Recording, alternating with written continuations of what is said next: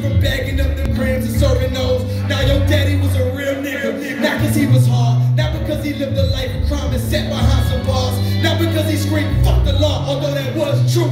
Your daddy was a real nigga cause he loved you. For your eyes only. Happy Father's Day, Carolina.